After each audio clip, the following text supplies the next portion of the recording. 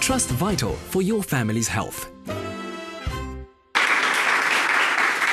Before the break, I asked about the rumor around artificial sweeteners causing cancer. True or false? Well, artificial sweeteners are used in a wide variety of foods and drinks. Almost everyone in developed countries consumes them, whether they know it or not. So, thankfully, studies on artificial sweeteners have found that they do not increase the risk of cancer. Isn't that good news? I think so.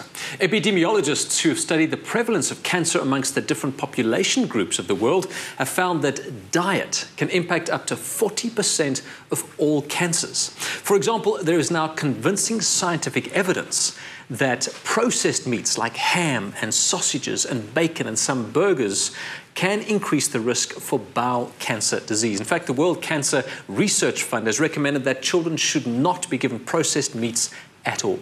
Andrea, if you were to give guidelines around a cancer preventative diet, what would those guidelines be? Definitely to reduce the intake of processed meats and even red meat in general. I think we should rely more on fish, chicken, and definitely the vegetable proteins, lentils and beans. Yeah, absolutely. Well, in fact, vegetables um, and fruits also contain lots of fiber and antioxidants that are also cancer protective. What and about alcohol?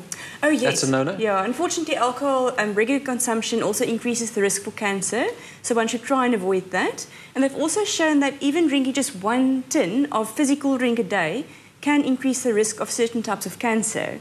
Wow. So we have to look at what we can drink. Okay. Water naturally is the one we should drink. Always, yes. And then also green tea because it has such potent antioxidants with cancer protective properties. You're right, and there's studies to actually back those statements. That's just not hearsay or kind of good news. There really is science that says green tea has got anti-cancer properties. That's right. I mean, one epidemiological study showed um, women that consume green tea regularly um, has a lower incident or have lower incidence of um, bowel cancer. And another study showed that men that are at risk of prostate cancer, by consuming green tea regularly, they can also reduce their risk. But the study says that we should try and consume six cups of green tea per day. There's always a catch. I mean, I don't want prostate cancer, but do I want six cups of green tea a day? Now, um, the taste is an acquired one, and I'm not sure you've acquired it. I haven't yet, but I'm sure you've got other ways of getting green tea in, don't you? Yes, I also haven't acquired the, the taste, but there is really a delicious um, alternative the Vital Fruit Infusion Green Tea. So that contains a fruit extract to give it some aromatic flavors. Good. So almost a natural kind of sweetener, if yes. you like. Or not a sweetener, but it has that, that fruity flavour, yeah. yes.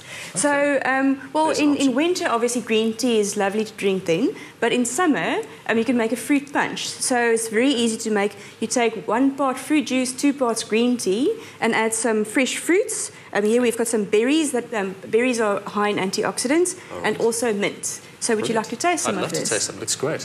Whoever audience actually has green tea on a regular basis? Okay, good. Wow, I'm impressed. Better than we are. Thanks, Andre.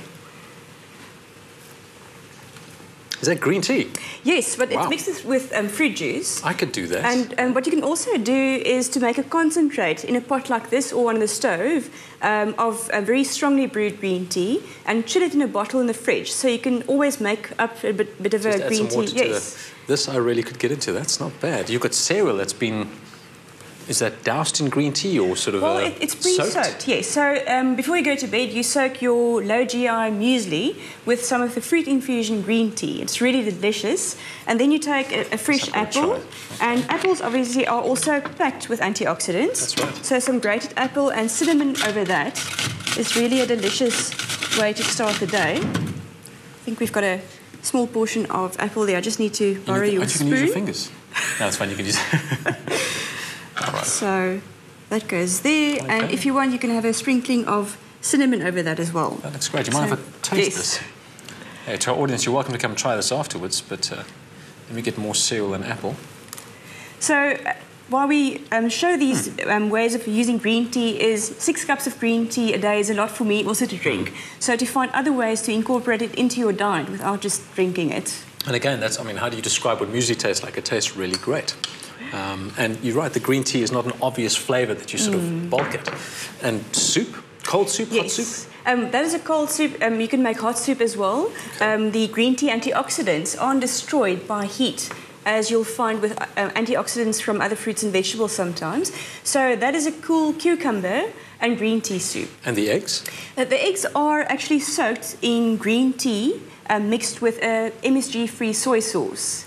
And they've shown that the albumin in the eggs um, absorb quite a lot of the green tea antioxidants. So what you do is you boil the egg first, Okay. and then you crack the, the shell, and then soak it in the um, soy sauce green tea mixture. So it's one part soy sauce to two parts green tea.